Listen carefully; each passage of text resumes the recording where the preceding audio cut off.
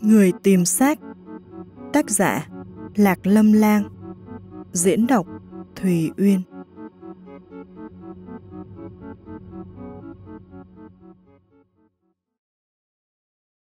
Chương 349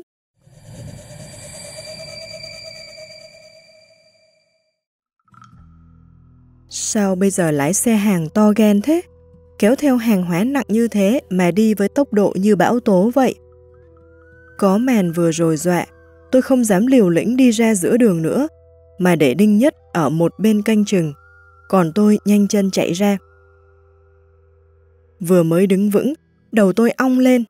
Xem ra lúc nãy từ hộ nhìn thấy cô gái đi theo chú Lê tới chỗ này là có nguyên nhân. Thi thể của Đinh Hiểu Manh quả nhiên ở bên dưới. Lúc này tôi mới thở phào, sau đó phất tay với nhóm chú Lê để mọi người đi đến. Đừng thấy lần này tìm xác giống như đi dạo, thế nhưng tôi cảm thấy còn tốn sức hơn những lần trước nhiều. Chờ đến lúc tôi trở lại ven đường, mấy người chú Lê đã đi tới. Tôi hỏi từ hộ. Anh Từ, chỗ tôi vừa đứng lúc nãy có đường nào xuống cống được không? Từ hộ theo bản năng nhìn vị trí tôi vừa đứng, sau đó giật mình nói. Cô gái vừa nãy đâu rồi? Tôi không muốn anh ta biết mình gặp ma, nên chuyện đề tài, nói. Trước đừng quan tâm đến cô gái đó, bây giờ chúng ta phải làm thế nào mới có thể xuống được chỗ cống thoát nước kia? Từ hộ lấy bản vẽ mặt bằng hệ thống thoát nước ra xem, sau đó chỉ vào chỗ tôi vừa rơi xuống, nói. Từ đây có thể xuống được. Tôi cười khổ, xem ra tôi với cái miệng cống kia đúng là có duyên. Từ hộ nhấc nửa nắp cống còn lại ra, Đinh Nhất chiếu đèn pin vào, bên trong tối om, cảm giác ngột ngẹt. Bởi vì bên dưới là địa bàn của từ hộ, nên tất nhiên anh ấy là người xuống đầu tiên. Lúc này, chú Lê dùng bông bịt chặt chuông dẫn hồn lại. Theo như chú ấy nói, nếu như không chiêu hồn thì không được để chuông này kêu bậy. Sau khi từ hộ xuống dưới, Đinh Nhất cũng đi theo sau. Thấy anh ta an toàn xuống dưới, tôi nghiêng đầu hít một hơi rồi bò xuống. Xuống dưới không khó, khó là sau khi xuống rồi phải đi tiếp. Hai chân tôi vừa chạm đất, thiếu chút nữa bị không khí trong này hun chết. Thối cay cả mắt, tôi không biết mùi thối này có cùng cấp với mùi cay không. Trong này còn thối hơn phân gấp ngàn lần. Nhưng điều khiến tôi bất ngờ nhất là chú Lê cũng xuống, mà chú ấy giống như không bị mùi này ảnh hưởng. Tôi quay đầu nhìn chú ấy, quả là bình tĩnh. Sau khi lên mặt đất rồi tôi hỏi mới biết, mấy hôm nay chú ấy bị viêm mũi không ngửi thấy gì. Nói thật, tìm xác trong cống ngầm này là tình trạng tồi tệ nhất mà tôi gặp phải cho đến giờ. Chỗ này vừa nóng, vừa ẩm ướt, lại thối. Ở dưới này mấy phút đã đến cực hạn của tôi rồi. Từ hộ đi đầu quay lại nói với chúng tôi. Mọi người cẩn thận dưới chân, phía dưới này là nước bùn rất trơn, đừng để bị ngã xuống. Nghe anh ấy nói, tôi vội vàng chiếu đèn pin xuống chân. Vừa chiếu xuống đã thấy lòng rỉ máu. Đôi giày da tôi vừa mua tháng trước, giờ ngập ngụa trong đống bùn xanh sẫm nhão nhét. Sau đó, từ hộ dẫn chúng tôi rẽ 7-8 lần. Đi chắc tầm 6-7 phút gì đó. Tôi ngửi thấy mùi thối trong đường cống này, chủ yếu là do hóa chất, khác với mùi lúc vào rất rõ. Tôi ngửi thấy mùi thối này không bao lâu thì phía trước xuất hiện thi thể nữ nằm sấp mặt ở dưới. Tóc tai rối bời. Từ hổ đi trước bị dọa kêu Mẹ ơi! Cô, cô gái này, cô gái này không phải lúc nãy vừa đứng sau lưng Lê Đại Sư à? Đến bây giờ từ hộ mới hiểu, hóa ra vừa rồi anh ấy nhìn thấy ma. Bởi vì sợ phá hỏng hiện trường, gây phiền phức cho cảnh sát khám nghiệm. Đương nhiên, chủ yếu là chúng tôi không dám đến đó. Trời mới biết thi thể Đinh Hiểu Manh đã biến thành dạng gì, cho nên chúng tôi đều tránh ở xa xa không dám đến gần. Ngoại trừ Đinh Nhất hơi tiếp cận về phía trước, sau đó quay đầu hỏi tôi. Chắc chắn à? Tôi gật đầu. Chắc chắn là Đinh Hiểu Manh, không nhầm được. Chú Lê quay sang nói với từ hộ. Báo cảnh sát đi. À, lại là tôi à? Từ hộ giật mình nói. Chú Lê nói trọng điểm với anh. Anh nghĩ đi, nếu anh báo cảnh sát, có thể chứng minh là do chính các anh tìm được. Có chỗ nào không tốt chứ? Từ hộ mặc dù chất phác nhưng cũng không ngốc. Chỉ thấy anh ấy cảm kích nhìn chú Lê, rồi lấy điện thoại ra báo cảnh sát. Đương nhiên, chúng tôi cũng gọi điện cho vợ chồng Đinh Bảo Thiền, báo cho họ biết đã tìm được thi thể con gái họ rồi. Cảnh sát nhanh chóng đến, khi bọn họ nhìn thấy từ hộ lại giật mình hỏi. Sao lại là anh nữa? Từ hộ hơi lúng túng nói.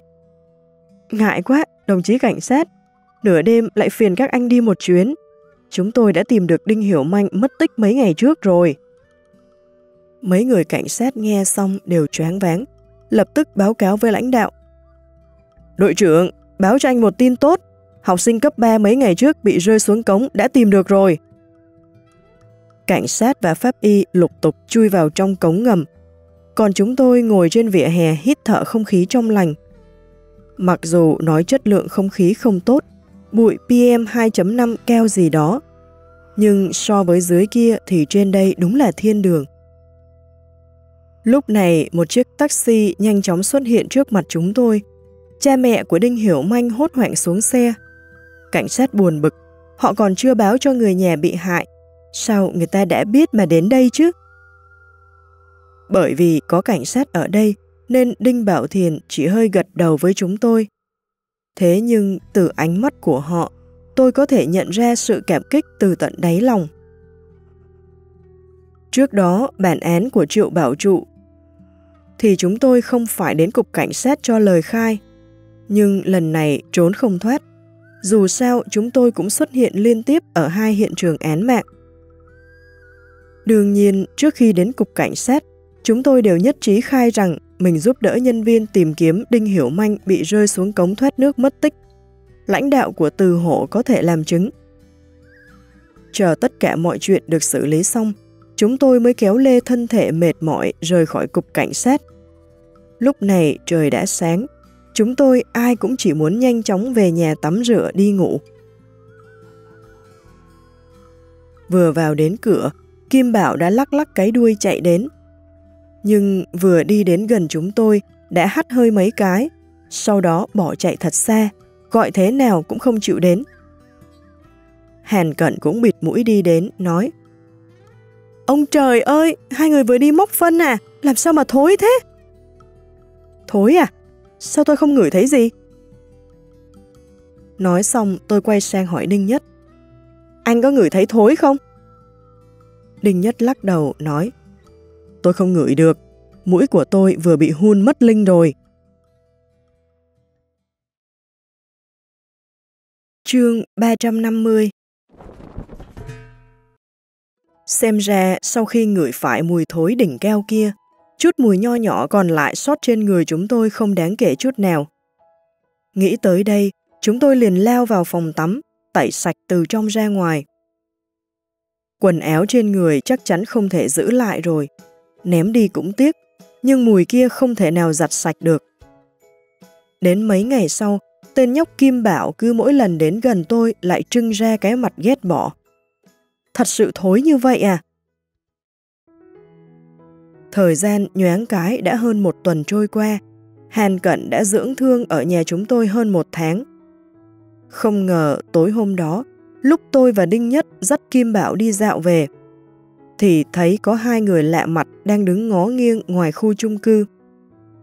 Tôi đây bình thường cũng thích tám chuyện hòa mình vào quần chúng phụ nữ trong chung cư, nên cũng đi qua hóng chuyện một chút. Kết quả, phát hiện trong tay hai người này cầm ảnh chụp một cô gái. Nhìn kỹ mới nhận ra người đó chính là Hèn Cận. Tôi căng thẳng, hai người này là ai vậy? Chẳng nhẽ là người của tập đoàn Thái Long tìm đến? Hay là người trước đó làm cô ta bị thương? Mặc dù tôi đoán rất nhiều khả năng, nhưng ngoài mặt vẫn bình tĩnh. Lúc một người đưa bức ảnh cho tôi xem, hỏi tôi có nhìn thấy cô gái này không?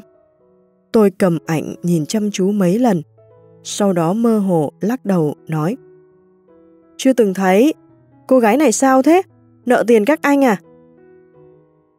Người đàn ông kia không ngờ tôi sẽ hỏi ngược lại nên lúng túng nói Không phải, đây là đồng nghiệp của tôi, đến đây chơi thì bị mất liên lạc với gia đình. Tôi càng nhiệt tình, nói Mất liên lạc? Nghiêm trọng vậy sao? Mất liên lạc bao lâu rồi? Đã báo cảnh sát chưa? Nghe tôi hỏi vậy, mấy bác mấy thím đứng bên cạnh khu chung cư đều xuống lại. Đặc biệt tốt bụng giúp bọn họ nghĩ kế, nghĩ cách. Có lẽ hai người này không ngờ có thể gặp được người tốt bụng như tôi, còn gọi thêm nhiều quần chúng nhiệt tình như vậy, nên đành nói qua loa vài câu, rồi vội vội vàng vàng rời đi. Đinh Nhất nhìn hai người kia rời đi mới nhỏ giọng nói với tôi.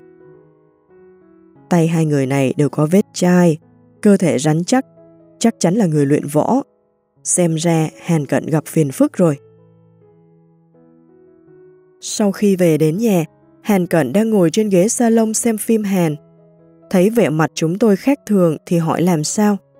Trước tiên phải hỏi cô ta cho rõ chuyện mới được. Mặc dù thời gian cô ta ở đây không gặp người ngoài, nhưng cẩn thận vẫn hơn. Hàn cận nghe xong thì biến sắc, nhưng lập tức khôi phục lại bình thường, tiếp tục xem phim Hàn, làm như không có chuyện gì xảy ra. Những ngày này, Hàn Cận luôn tạo cho tôi một loại ảo giác, cảm giác cô ta đã trở thành người phụ nữ bình thường. Buổi sáng, Hàn Cận nói muốn ăn lẩu uống bia. Tôi thấy thời tiết đầu hè mà ăn lẩu thì thật đúng là ghê người. Nhưng dù sao người ta đã đề nghị, không ăn thì lại thành người hẹp hòi. Thế là xế chiều hôm đó, tôi và Đinh Nhất đi siêu thị mua thịt dê tươi, tôm càng xanh và rau quả tươi chuẩn bị về nhúng lẩu. Thật ra, ở cùng Đinh Nhất lâu như vậy, tôi còn phát hiện anh ta có một tuyệt kỹ khác, đấy là thái thịt dê. Đây chính là khó phân cao thấp với đầu bếp chuyên nghiệp. Sau khi chuẩn bị đủ, chúng tôi ba người ngồi chờ nồi lẩu sôi. Thời tiết này ăn lẩu quả là một tư vị khác. Nóng tôi không sợ, giảm nhiệt độ điều hòa xuống là được. Ai ngờ, chúng tôi còn chưa ăn món chính, thì chú Lê gọi điện đến. Tôi thấy điện thoại đến là biết có việc nên nháy mắt với Đinh Nhất bảo anh ta nói với chú Lê ngày mai hãy bàn. Nhưng sau khi Đinh Nhất tắt máy thì nói Sư phụ nói là việc gấp, bảo chúng ta đi đón ông ấy ngay. Tôi bất đắc dĩ nhìn Hàn Cận. Không sao, bình thường việc gấp đều phải xử lý ngay, chúng tôi về nhanh thôi. Cô cứ ăn từ từ, chờ chúng tôi. Hàn Cận cười ha ha nói Được rồi, đi nhanh đi. Không còn cách nào, Chúng tôi ra cửa lái xe hỏa tốc đến nhà chú Lê. Vừa đến cửa nhà đã thấy chú ấy đứng ở cửa chờ chúng tôi. Đinh Nhất vừa dừng xe, chú đã mở cửa lên xe rồi nói Nhanh đi đến thôn Hạ Hà ở ngoại ô. Tôi thấy sắc mặt chú Lê rất xấu nên lo lắng hỏi chú ấy Xảy ra chuyện gì rồi ạ? Chú Lê thở dài nói Tiến bảo, chú chưa nói với cháu chú là người ở đâu à? Tôi mờ mịt lắc đầu, nói Không phải chú là người ở đây ạ? Chú Lê nhìn đồng hồ, sau đó nói với Đinh Nhất Lái nhanh một chút. Nói xong, chú ấy mới quay sang tôi. Chú là người ở đây, nhưng trước khi chuyển vào thành phố, nhà chú ở thôn Hạ Hà. Họ Lê chúng ta là danh gia vọng tộc trong thôn. Đáng tiếc, lúc chú 15 tuổi, trong nhà xảy ra biến cố, cha mẹ đều qua đời. Không ai chịu thu nhận tên nhóc choi choi như chú. Cuối cùng, chú ở nhà bác trưởng đợi một năm, mới theo sư phụ đi học. Tôi biết chú Lê sẽ không vô duyên vô cớ nói những lời này. Chắc chắn ở quê chú ấy có người xảy ra chuyện. Quả nhiên, chú Lê tiếp tục nói với tôi. Vừa rồi, chú nhận được điện thoại của anh trai, nói mấy cháu trai cháu gái đều bị rơi vào vũng nước trên sông, đến bây giờ vẫn chưa tìm được. Nếu như mấy đứa trẻ đó xảy ra chuyện, cháu trai đời này của họ Lê sẽ không còn ai hết. Cái gì? Mấy đứa bé đều rơi xuống nước? Chuyện gì thế ạ? Tôi ngạc nhiên hỏi. Chú Lê U sầu nói, chú cũng không rõ lắm, anh họ chú không nói rõ trong điện thoại, nhưng nghe ý của ông ấy, có lẽ lành ít giữ nhiều. Bảo sao chú Lê lại gấp như vậy? Cũng không trách được, nhánh nhà chú ấy chắc chắn là không có nối dõi. Nếu như bác trưởng của chú ấy cũng bị chặt đứt hương họa, vậy không phải nhà chú Lê sẽ tuyệt hậu sao? Đinh Nhất lái xe rất nhanh, tôi rất yên tâm với kỹ thuật của anh ta. Hơn nữa, bây giờ chú Lê chỉ hận không có thêm đôi cánh để bay đến đó. Cho nên nhanh thế nào chú ấy vẫn cảm thấy chậm. Chờ đến khi ba người chúng tôi đến được thôn Hạ Hà, từ xa đã thấy ánh lửa ngút trời, giống như có không ít người cầm đuốc đứng cùng nhau. Công trình kiến thiết ở nông thôn thì sơ sài, mặc dù đường đã được trải nhựa, nhưng vẫn không có đèn đường. Khi chúng tôi đi đến gần xem xét mới thấy, gần như đàn ông của cả thôn đều có mặt ở đó. Sau khi Đinh Nhất dừng xe, tôi và chú Lê xuống trước. Tôi phát hiện trong đám đông không chỉ có người dân trong thôn mà còn có cả cảnh sát. Bọn họ ai cũng mồ hôi đầy đầu, có lẽ đều lo lắng không biết phải làm sao. Lúc này một người trong thôn nhìn thấy chú Lê liền hô to. Ông ba về đến rồi! Tôi nghe xong thấy chú Lê địa vị cũng không thấp nha. Người gọi chú ấy là ông ba cũng phải 40 tuổi rồi. Giọng nói người kia vừa dứt thì một vị trung niên lớn tuổi hơn chú Lê một chút đi từ trong đám người ra. Hai mắt đỏ lên không nói được lời nào. Chú Lê kéo tay người trung niên nói Anh hai, cuối cùng đã xảy ra chuyện gì? Chương 351 Anh hai của chú Lê vừa khóc nức nở vừa kể lại cho chúng tôi. Mấy ngày nay trời quá nóng. Chờ mãi hôm qua mới có một trận mưa lớn. Thế là năm đứa cháu nhà ông cùng với mấy đứa trẻ lớn hơn trong thôn cùng nhau ra vũng nước chơi. Năm đứa bé này là con của ba người con trai nhà anh hai chú Lê. Bốn trai, một gái. Ban đầu lúc mấy đứa bé bảo đi ra hồ nước chơi, người lớn trong nhà cũng không để ý trẻ con nông thôn mà, làm gì có đứa nào chưa từng chơi ở mấy vũng nước lớn chứ? Không ngờ đến tận 6 giờ chiều cũng không thấy mấy đứa bé về. Lúc này anh hai chú Lê hơi lo lắng, vì ông ấy biết hôm qua trời mưa to, chắc đã lấp kín mấy hố két ở lòng sông. Mấy đứa trẻ đi chơi hy vọng không có chuyện gì. Thế là ông ấy chắp tay sau lưng đi về chỗ vũng nước lớn kia định gọi mấy đứa cháu trai cháu gái về. Kết quả, đi đến cửa nhà lão vương trong thôn thì thấy một đám trẻ con chơi dưới gốc cây đại thụ. Anh hai chú Lê hỏi bọn chúng. Mấy đứa không phải cùng đi với đám trứng thối nhà ông ra hố nước chơi à? Một đứa lớn hơn nói với ông ấy, bọn chúng lúc trưa đi ra vũng nước thì thấy vũng nước bị đầy hết rồi, nên chúng không dám chơi ở mép nước đều về hết. Chỉ có đám trứng thối không nghe lời khuyên, nhất định muốn chơi ở mép nước, nên bọn chúng đi về trước. Anh hai chú Lê nghe vậy thì biết có chuyện, dự cảm không tốt xuất hiện. Ông ấy cũng không dám ung dung đi chậm nữa, mà chạy thẳng đến hồ nước. Không ngờ lúc chạy đến thì thấy bên mép nước không có đứa trẻ nào đang chơi cả. Lúc đó ông ấy suy nghĩ, không biết mấy đứa trẻ chạy đi đâu chơi. Đang nghĩ thì trong nước bùn ở hố nước bên cạnh có một vật thu hút sự chú ý của ông. Ông ấy ngồi xuống nhìn kỹ, phát hiện đó là chiếc giày vải màu đỏ của con gái đầu thằng hai nhà mình. Ông ấy cảm thấy trời đất như quay cuồng, thiếu chút nữa thì ngất xỉu. May mà có kế toán lưu trong thôn và em vợ đi qua. Thấy lão Lê ở cạnh hố nước lão đạo như muốn ngã, thì vội vàng đỡ dậy. Cảm thấy có người đỡ mình, ông ấy nhìn sang phát hiện là kế toán lưu, thì vội vàng lôi kéo, nói Nhanh đi gọi người, mấy đứa cháu tôi có thể bị rơi xuống nước rồi. Kế toán lưu nghe xong cũng giật mình kêu lên, vội để người em vợ chạy về thôn dùng loa thông báo gọi người. Vì vậy mới dẫn đến việc chúng tôi được chứng kiến Chú Lê nghe anh hai nói xong thì trầm giọng hỏi. bọn trẻ rơi xuống được bao lâu rồi.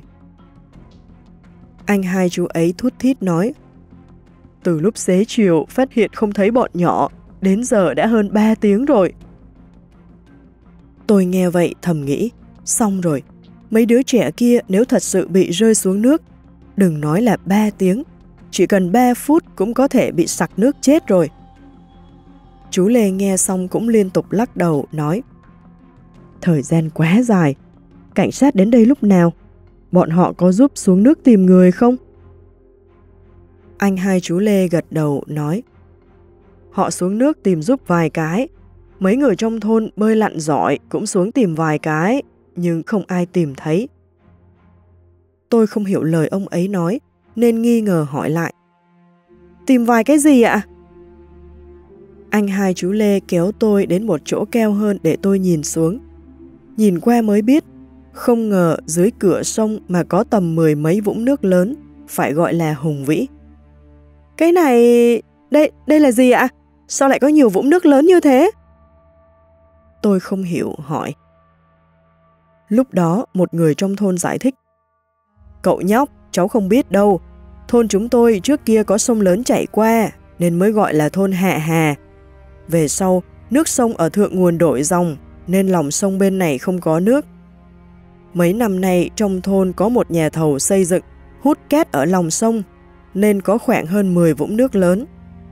Bình thường thì không sao, nhưng khi có mưa to, những hố này sẽ đầy nước. Nghe nói hố sâu nhất cũng phải đến 7-8 mét. Tôi nghe xong liền hiểu rõ.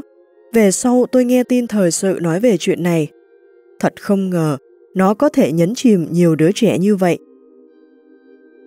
Hôm nay tôi lần đầu tiên nhìn thấy loại hố két này, không rõ người trong thôn thấy thế nào. Không nói đến chuyện hút két này, phá hoại môi trường ra sao, chỉ nói đến tai họa ngầm thôi, chẳng nhẽ không ai nhận ra. Phải chờ đến lúc nhà mình xảy ra chuyện mới coi những hố két này là nguy hiểm ư. Xem ra vấn đề khó giải quyết nhất lúc này là không biết bọn trẻ rơi vào hố nước nào, cho nên mới gọi điện cầu cứu chú Lê. Lúc này chú Lê mới đi đến cạnh tôi nói Tiến bảo, cháu xuống đó giúp đỡ tìm kiếm một chút. Bây giờ chỉ có thể hy vọng mấy đứa trẻ này đi chơi ở nơi khác.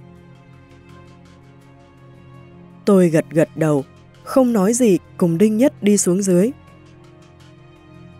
Dưới lòng sông có ba người phụ nữ tóc tai bù xù, nước mắt rèn rụa và ba người đàn ông ủ rũ ngồi đó. Không cần nói cũng biết, đây là ba người cháu ruột của chú Lê và vợ của họ. Ba người đàn ông thấy chúng tôi đi cùng chú ba của họ thì nheo nheo đứng lên. Mặc dù không có ai giới thiệu, nhưng tôi vẫn vỗ vỗ vai họ, sau đó trầm giọng nói. Tôi đi xem trước, có lẽ bọn chúng ham chơi, đi đến nơi khác chơi cũng nên. Cả bọn họ đều bi ai gật đầu. Bây giờ đây chính là nguyện vọng duy nhất của họ. Lúc tôi và Đinh Nhất đi đến cạnh hố két, phát hiện những hố này không có quy tắc, thậm chí hố to, hố nhỏ liên tiếp. Đoạn nước gần bờ cũng lầy lội khó đi. Đừng nói là trẻ con, cả người lớn chơi ở đây cũng không an toàn. Tôi đi vòng quanh những hố két này, cố gắng đi đến từng hố két một. Hố nước lúc đầu phát hiện dày vải đỏ, là hố két bọn họ tìm đầu tiên. Mấy người bơi lội tốt đều xuống nước mò, nhưng không mò thấy gì. Bởi vì bọn họ đã tìm trước, cho nên tôi đi tìm hết mấy hố két khác. Đi tới đi lui lượn quanh vài vòng vẫn không có cảm giác gì. Nhưng đến lúc tôi hướng đến hố két đầu tiên kia, trong lòng bồn chồn. Thế là tôi đứng ở trước hố, cẩn thận cảm nhận. Xa xa, chú Lê thấy tôi đứng sững lại, lòng trầm xuống, biết là tôi đã cảm nhận được gì đó. Nói cũng kỳ quái, hố nước trước mắt nói nhỏ cũng không nhỏ, nhưng không coi là quá lớn, chỉ rộng vài chục mét.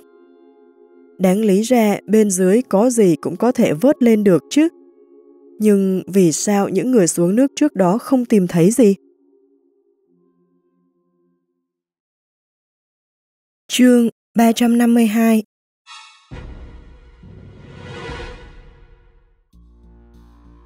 Nhưng đó không phải điều kỳ lạ nhất.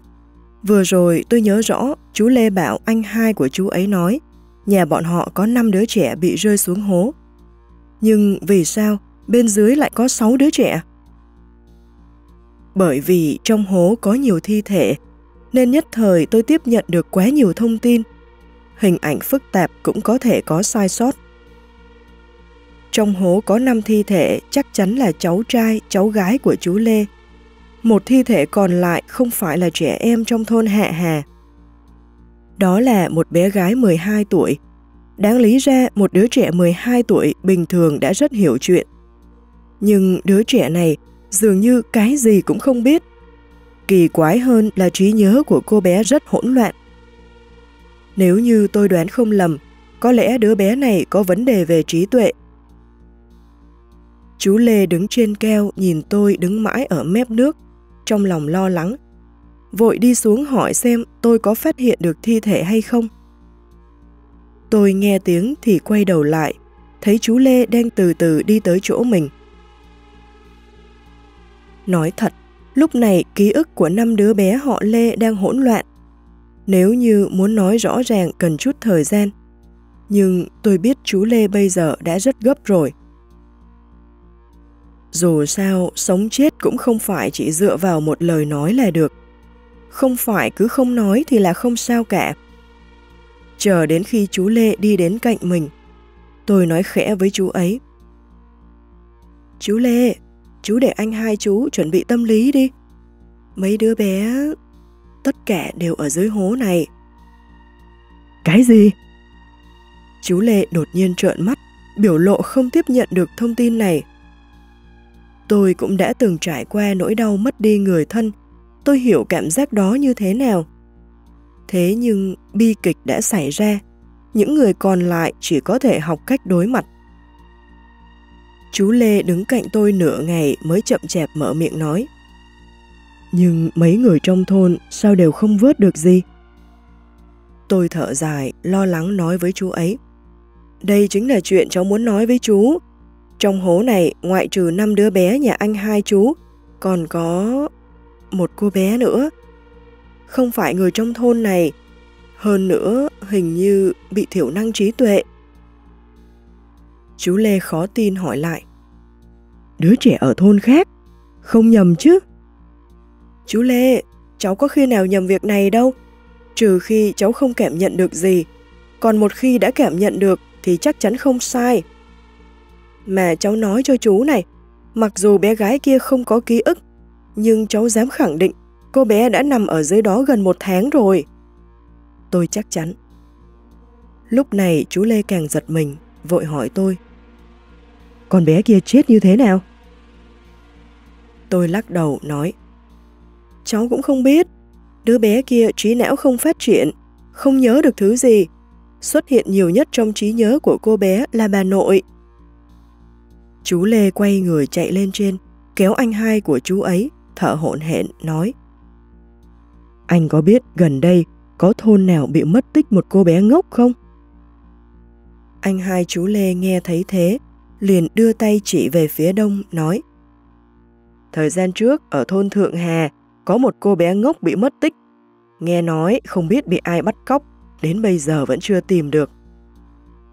Chú Lê nghe xong, cau mày trầm tư thật lâu, sau đó quay lại nói với anh hai. Tìm máy bơm nước, bơm hết nước ra, mấy đứa trẻ ở cái hố mà anh phát hiện ra chiếc giày vải đỏ ấy. Chú ấy vừa nói xong, mẹ của đám trẻ khóc toáng lên. Anh hai của chú Lê trợn mắt ngất luôn. Dưới sự hỗ trợ của cảnh sát, máy bơm nhanh chóng được đưa tới, bắt đầu rầm rập hút nước đi. Bởi vì chỉ có một máy bơm nên hiệu suất chậm, lại thêm trời cũng đã tối muộn. Cho nên hiện trường ngoài người nhà chú Lê thì mọi người đều về nghỉ hết. Chú Lê đương nhiên không thể đi, chú ấy ở lại thì tất nhiên chúng tôi cũng phải ở lại. Nhưng ba người chúng tôi cả đêm đều ngồi trong xe. Lúc này chú Lê mới bảo tôi nói kỹ cho chú ấy nghe. Mấy đứa trẻ kia sao lại rơi xuống nước? Tôi thở dài, sau đó nói lại những gì trong ký ức của chúng cho chú ấy nghe. Trong mấy đứa trẻ, trứng thối là đứa rơi xuống nước cuối cùng. Mặc dù không phải bơi lội giỏi, nhưng cũng thường chơi trong nước như vậy không ít lần rồi. Buổi trưa hôm đó ăn cơm xong, vì trời quá nóng, nên người lớn đều về phòng đi ngủ. Nhưng mấy đứa trẻ kia nằm mãi vẫn không ngủ được, ồn ào đòi đi chơi. Trong năm đứa trẻ, trứng thối là đứa lớn nhất, năm nay 14 tuổi. Nhỏ nhất là hộ con cũng đã 8 tuổi.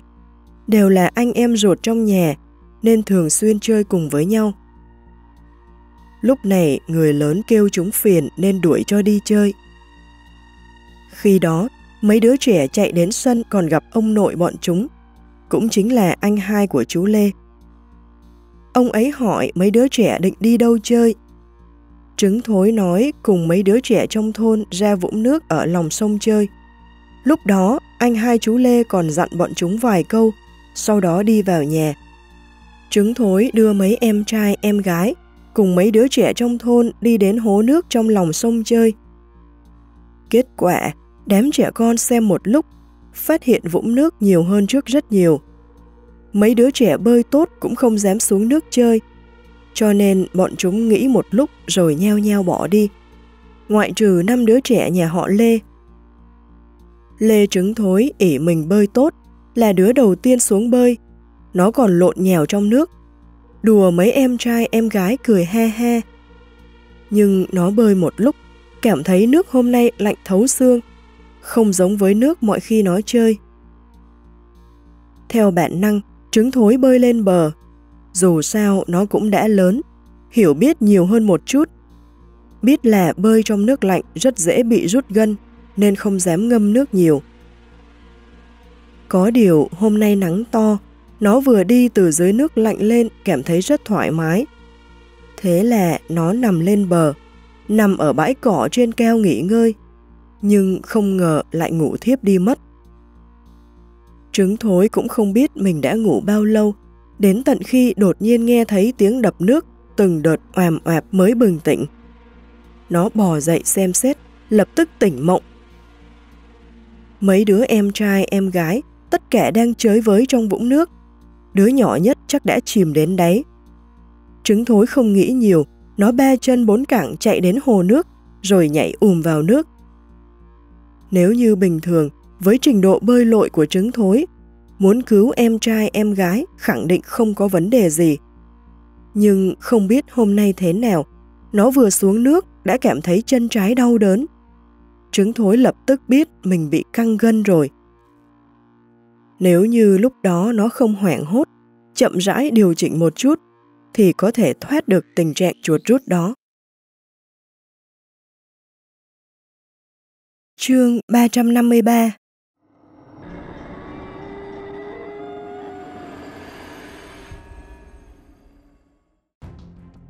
Khi đó, trứng thối có thể không hoảng loạn sao? Chính mắt mình nhìn thấy các em sắp chết đuối, thằng bé sao không xuống cứu cho được? Nhưng thằng bé càng muốn bơi đến chỗ các em của mình, thì cơ trên đùi càng bị rút gân đau đớn. Cuối cùng, ngay đến chính nó cũng không còn sức bơi vào bờ nữa. Còn lại, trong ký ức của mấy đứa trẻ kia, tôi thấy được nguyên nhân vì sao lúc trước bọn chúng lại cùng bị ngã xuống nước. Thì ra, ngay tại lúc trứng thối lên bờ không lâu, đứa nhỏ nhất là hổ con đột nhiên nhìn thấy trong nước trôi nổi một vật. Vật đó trông rất giống một chiếc súng đồ chơi bằng nhựa. Mới đầu nó cũng không dám xuống nước vớt, nên muốn đi tìm anh kẻ vớt hộ. Nhưng lại thấy anh mình đang ngủ trên bãi cỏ. Đúng lúc đó, đột nhiên có một trận gió nổi lên, đẩy món đồ chơi kia về phía nó. Hổ con mừng lắm, nó quan sát thấy nước ở chỗ chiếc súng đồ chơi đó chỉ sâu đến khoảng đầu gối của mình. Thế là nó đánh liều xuống nước. Kết quả, khi nó sắp lấy được món đồ chơi kia, thì đột nhiên cảm giác dưới chân bị hẫng, sau đó chìm cả người vào trong nước. Hổ con bơi không giỏi, nó chỉ biết bơi chó. Nhưng lúc này thằng bé bị chìm đột ngột vào trong nước, nên lòng hoảng hốt, tay chân bắt đầu khua loạn xạ. Lúc này hâm hâm vẫn đang chơi ở trên bờ, cô bé chính là chủ nhân của chiếc giày vải đỏ kia. Cô bé nhìn thấy em trai mình rơi xuống nước, nên hô hoán gọi trứng thối ở trên bãi cỏ. Nhưng không hiểu vì sao, lúc đó trứng thối ngủ rất say.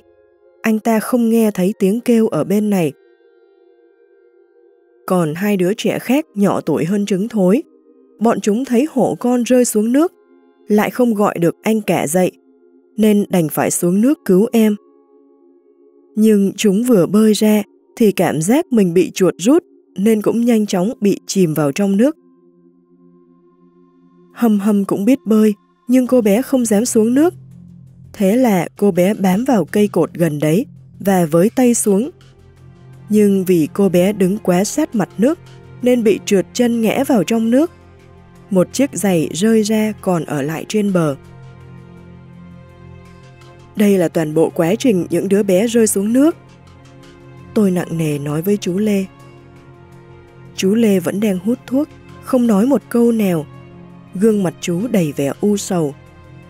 Tôi và Đinh Nhất không biết phải an ủi chú thế nào, vì cùng một lúc mất nhiều đứa trẻ như vậy. Rơi vào nhà ai cũng đều là trời đất sụp đổ cả.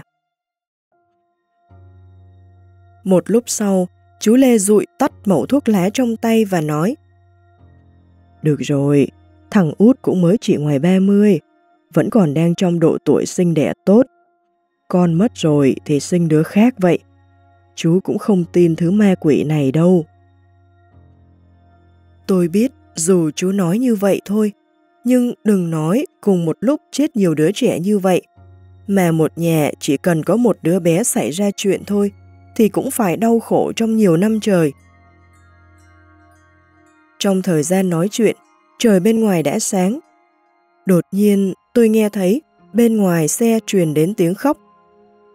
Sau đó có tiếng người nào đó hô lớn về phía chúng tôi. Nước rút rồi, làm đi! Chú Lê nghe thấy thế thì giật mình chạy ra khỏi xe. Tôi và Đinh Nhất cũng vội vã xuống theo. Cùng chạy tới chỗ hố nước. Cái hố này có hình thang, càng đi xuống diện tích càng nhỏ. Dù bây giờ trong hố vẫn còn nước, nhưng thi thể của những đứa trẻ đã hiện lên khỏi mặt nước. Đám con trai, con dâu của anh hai nhà chú Lê khóc lóc ầm ĩ, muốn chạy xuống hồ nước, nhưng bị người thân kéo lại. Chú Lê thấy cảnh này cũng rất khó chịu, nhưng chú ấy vẫn bình tĩnh nói ra nghi hoặc trong lòng mình với tôi. Người chết đuối sẽ không mãi chìm xác dưới đáy nước. Không một đứa nào trong những đứa trẻ này nổi lên, chứng tỏ có điều gì đó kỳ quặc. Thật ra tôi đã nghi ngờ điều này từ sớm, đặc biệt là đứa trẻ không rõ lai lịch ở trong hố nước kia. Máy bơm nước vẫn đang vận hành ở trong hố, nhưng không hiểu vì sao nước trong hố hút mãi cũng không cạn. Thi thể của mấy đứa bé đều được cảnh sát vớt lên. Sau đó tôi nghe thấy có người nói Sao lại thêm một đứa thế này? Đứa trẻ này là con nhà ai thế? Cảnh sát đứng ở đó nghe vậy, thì biết có thêm một bộ thi thể nữa. Họ bèn bảo người đi tìm cán bộ trong thôn đến, để họ đi từng nhà hỏi xem có con nhà ai bị mất tích không. Lúc này, anh trai của chú Lê dùng gương mặt đau khổ, nhìn đứa bé kia một cái, rồi gọi người kia lại và bảo Trở về đi, đứa bé này chắc chắn không phải ở trong thôn chúng tôi, hẳn là nó ở thôn Thượng Hà. Anh đến thôn Thượng Hà đi, gọi bọn họ tới nhận xác. Người kia nghe xong thì đồng ý, sau đó chạy ra cửa thôn. Hôm qua, sau khi bọn họ báo cảnh sát, thì có hai người đến. Nghe nói là có người chết đuối, nên cảnh sát không gọi bác sĩ và người thăm dò hiện trường tới. Giờ thì hay rồi, bỗng dưng lại có thêm một xác chết nữa. Hơn nữa, nhìn độ phân hủy của xác đứa trẻ kia, thì chẳng biết nó đã bị ngâm nước trong thời gian bao lâu rồi. Sau đó, cảnh sát và người nhận diện thi thể của thôn Thượng Hà đến cùng một lúc. Nhưng vì thi thể đã bị trương phành quá nghiêm trọng, nên người của thôn Thượng Hà cũng không thể nhận ra được đứa trẻ này có phải là cô bé Lý Nhị Ni đã bị người ta bắt cóc hay không. Thì ra cô bé tên Lý Nhị Ni này, từ bé đầu óc hơi có vấn đề. Năm cô bé 2 tuổi, bố của cô bé vì sử dụng máy bơm nước bị rò điện, nên bị điện giật chết. Mẹ của Nhị Ni thấy trong nhà chỉ còn mình bà ấy và đứa con gái bị ngốc, nên dứt khoát, dứt éo ra đi. Từ đó, để lại hai bà cháu khổ sở nuôi nhau. Vì một già một trẻ không thể trồng trọt, nên họ đành để cho người ngoài thuê đất trồng trọt. Một năm được trả một ngàn đồng. Ủy ban thôn thấy hai bà cháu không thể sống được nữa, nên giúp họ làm đơn xin trợ cấp cho người nghèo. Nhờ vậy mà có thể miễn cưỡng sống qua ngày. Cô bé nhị ni này rất ngốc, ngoại trừ ăn uống, ngủ nghỉ, còn lại cô bé không hề biết cái gì cả. Những đứa trẻ trong thôn cũng không muốn chơi cùng cô bé. Bình thường cô bé vẫn hay đến cửa thôn ngồi chơi một mình, ngẩn người nhìn ô tô chạy qua chạy lại. Có đôi khi cô bé có thể ngồi cả một ngày. Nhưng một cô bé ngốc như vậy mà tháng trước lại bị mất tích. Lúc ấy, bà nội của nhị ni thấy cô bé không về ăn cơm tối thì có cảm giác bất an. Nhưng bà nội của cô bé đi đứng bất tiện, đành phải nhờ hàng xóm hỗ trợ đến cửa thôn tìm thử. Nhưng hàng xóm trở về lại bảo là Nhị Ni không có ở cửa thôn. Bà của Nhị Ni nghe vậy thì hoảng hồn, lúc này mới nhớ đến việc tới ủy ban thôn nhờ người hỗ trợ. Các cán bộ trong thôn dùng loa hô hào mọi người trong thôn đi tìm giúp nhị ni. Vì dù sao, họ cũng là người cùng thôn, mà nhà của hai bà cháu này cũng là hộ khó khăn. Loa trong thôn kêu rất to, các nhà trong thôn đều đi ra giúp đỡ tìm kiếm. Nhưng thôn Thượng Hà không lớn lắm, chẳng mấy chốc họ đã đi tìm khắp các chốn mà bọn trẻ con có thể đi chơi được. Bỗng có một người nhớ lại Lúc ban ngày hôm nay, hình như anh ta nhìn thấy có một chiếc xe đi ngang qua cửa thôn. Dừng lại nói chuyện với nhị ni, chắc là đang hỏi đường. Bởi vì từ trước đến nay, nhị ni vẫn luôn chơi ở cửa thôn, nên lúc đó anh chàng này cũng không tiếp tục để ý đến nữa. Giờ ngẫm nghĩ lại, chẳng lẽ cô bé đã bị người kia bắt cóc rồi? Người trong thôn nghe xong lập tức như ong vỡ tổ, nheo nheo lên, nói thế thì không hay rồi. Nếu cô bé thật sự bị bọn buôn người lừa đi, thì khó mà tìm về được.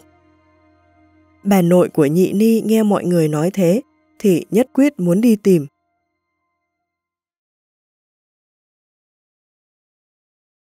Chương 354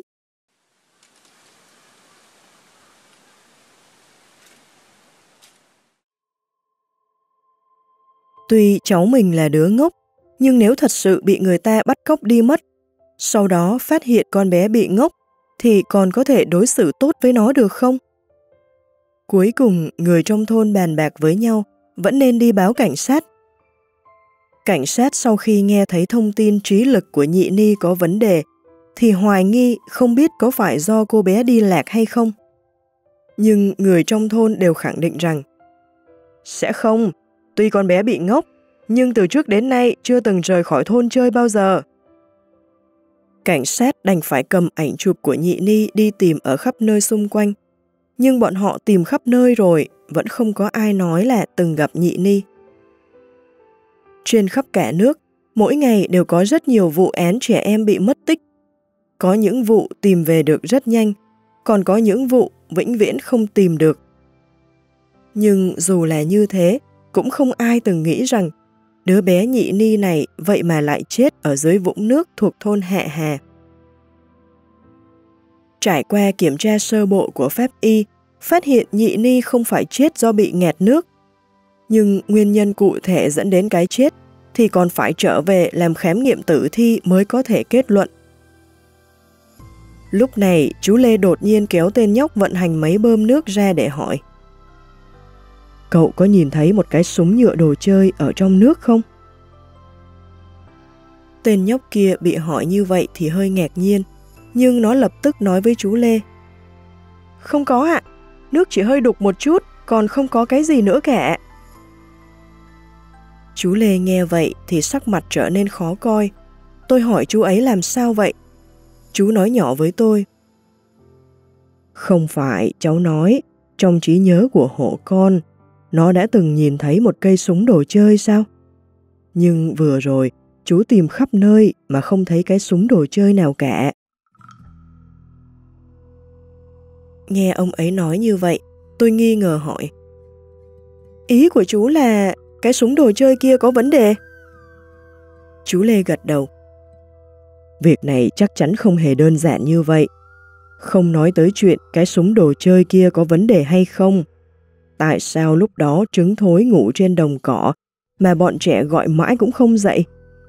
Nếu ngay từ đầu, lúc hộ con mới rơi vào trong nước mà hâm hâm đánh thức được trứng thối dậy, thì có lẽ chỉ có hai đứa bé bị chết đuối thôi, hoặc là không có đứa nào bị chết cả. Ý chú nói là nhị ni đang tìm thế thân, nhưng không phải nó là đứa ngốc hay sao? Tôi không tin lắm vào ý nghĩ này. Nhưng chú Lê lại một mực chắc chắn mà nói với tôi. Khi còn sống bị ngốc, sau khi chết không nhất định vẫn bị ngốc. Hơn nữa, nhị ni chết cũng không đơn giản như vậy. Những người bị chết đuối, hai tay thường nắm lại. Bởi vì khi ở trong nước, bản năng họ sẽ nghĩ rằng phải bắt được thứ gì đó. Nhưng hai tay của nhị ni lại siết chặt lại, giống như là đã từng phải nhận đau đớn khủng khiếp vậy. Tôi nghe mà không khỏi sững sờ. Ý chú là đứa bé này bị người ta giết. Chỉ mong là không phải. Chú Lê chậm rãi nói. Hành hạ chúng tôi một đêm, cuối cùng cũng tìm được thi thể mấy đứa trẻ. Tâm trạng của chú Lê hiện giờ có thể nói là vô cùng ngổn ngang. Tuy ông ấy không thể có người nối dõi, nhưng cũng không hy vọng dòng họ Lê nhà mình tuyệt hậu. Những đứa trẻ này đột nhiên gặp nạn trên đất bằng, trong đó tất có nguyên do. Vì có nhiều thi thể trẻ em, cho nên cảnh sát mang toàn bộ 6 cỗ thi thể đi. Tuy người nông thôn đều rất truyền thống, không muốn con mình bị mổ bụng, mổ ngực. Nhưng vì để điều tra rõ nguyên nhân cái chết của những đứa trẻ này, họ đành phải nhịn đau để cảnh sát mang chúng đi. Chú Lê đưa chúng tôi về nhà anh hai. Người trong nhà đột nhiên gặp đại nạn. Tất cả đều như quả cà héo. Mẹ của hộ con còn khóc ngất đi mấy lần. Chú Lê bảo anh hai đưa phụ nữ trong nhà về phòng nghỉ ngơi, vì chú có chuyện muốn hỏi mấy đứa cháu. Tôi thấy chú Lê không cho đám phụ nữ trong nhà họ Lê nghe. Vậy chắc chúng tôi cũng phải tránh đi chỗ khác. Nhưng chú Lê lại lắc đầu, nói Hai đứa cũng nghe đi, đâu phải người ngoài. Nói rồi, chú dùng giọng điệu cực kỳ nghiêm khắc, bảo Nói đi, ai trong số mấy đứa có liên quan đến cái chết của đứa bé ngốc ở thôn Thượng Hà? Ba người cháu của chú ấy nghe thấy thế, thì mặt đứa nào cũng đen như màu đất. Không đứa nào dám nói gì. Cuối cùng vẫn là anh lớn ấp úng mãi mới nói ra hai câu. Chú ba, chú nói vậy là sao? Chúng cháu sao có thể làm ra chuyện tàn nhẫn như vậy được? Không làm chuyện gì thất đức, sao có thể đoạn tử tuyệt tôn? Chú Lê đột nhiên hét lên. Ba người cháu nghe xong đều sợ quá quỳ xuống đất. Chuyện này thật sự không phải do bọn họ làm. Nhưng ngày hôm đó, đúng là bọn họ đã nhìn thấy một số chuyện không thể nói cho người khác biết. Thì ra, mùng 9 tháng trước, đúng lúc trên thị trấn có phiên chợ, ba anh em dùng xe ba gác lên chợ, định đem dưa hấu mới hái đi bán. Dưa hấu trồng trong thôn hẹ hè bọn họ vừa ngọt vừa két, nên bình thường chỉ cần một buổi sáng là bán hết sạch. Sau đó, ba anh em vào ăn trưa trong một quán cơm nhỏ trên thị trấn, rồi mới lái xe về nhà. Ai ngờ, khi họ lái xe ngang qua thôn Thượng Hà, cậu hai đột nhiên cảm thấy khát nước, nên bảo anh cả dừng xe ở ven đường, cho cậu ấy vào cửa hàng ở đầu thôn mua mấy cây kem ăn. Mua kem xong, ba anh em bọn họ ngồi xổm ở dưới bóng cây, vừa ăn kem vừa nói chuyện phiếm. Đột nhiên, cậu ba chỉ tay về hướng cửa thôn Thượng Hà và nói Mấy anh nhìn xem, hai người kia có phải là bọn buôn người không? Nghe thấy vậy, hai người kia cũng vội nhìn theo hướng ngón tay của cậu ba. Bọn họ nhìn thấy chiếc xe van có biển số nơi khác, đang dừng ở cửa thôn Thượng Hà. Có hai người đàn ông từ trên xe đi xuống, đang hung hãn túm một cô bé khoảng 11-12 tuổi vào xe. Cậu hai thấy thế, lập tức đứng dậy muốn đi cứu người, nhưng lại bị anh kẻ kéo lại. Mày đi làm cái gì? Cậu hai sững sờ, sau đó nóng nảy nói. Qua đó cứu người chứ sao? Chậm một chút nữa là đứa bé đó bị hai kẻ kia kéo lên xe rồi. Ai ngờ anh kẻ đột nhiên nói một câu. Mày quên chuyện của Tống Lão Nhị rồi à? Cũng gặp phải mấy kẻ như thế này. Có phải mày không muốn sống nữa hay không? Thì ra trong thôn bọn họ có một người rất hiền lành tên là Tống Tổ Đức. Vì anh ta đứng hàng thứ hai trong nhà, nên cả thôn đều gọi anh ta là Tống Lão Nhị. Tống Lão Nhị là một người rất nhiệt tình. Bình thường mà hàng xóm có chuyện gì khó khăn, anh ta đều nhiệt tình đi hỗ trợ. Ngờ đâu, vào 29 tháng chạp năm ngoái, trong một phiên chợ cuối cùng của năm, Tống lão nhị nhìn thấy có đứa trộm tiền người ta nên quát lên một tiếng. Thế rồi, khi trên đường về nhà, anh ta bị tên trộm kia trả thù, đâm một dao vào ngực, chết ngay tại chỗ. Thời buổi này, người tốt không sống được lâu. Tuy cuối cùng vụ án ấy cũng được phá, tên trộm cắp giết người phải nhận sự trừng phạt của pháp luật. Nhưng Tống Lão Nhị cũng đã chết rồi, để lại vợ con côi cút trong nhà làm sao sống nổi đây? Chuyện này gây chấn động rất lớn trong thôn Hạ Hà. Ai cũng biết Tống Lão Nhị, biết anh ta là người hiền lành. Thế nhưng chẳng ai có thể hiểu vì sao một người tốt như vậy lại có kết cục như thế này. Sau khi Tống Lão Nhị chết chưa được nửa năm, vợ anh ta mang theo con đi lấy chồng khác. Nhưng ít ra người phụ nữ này cũng có lương tâm. Mình đi rồi còn biết mang theo cả con. Còn như mẹ của nhị ni, chẳng phải bỏ con lại trong thôn, sau đó chạy mất dạng sao?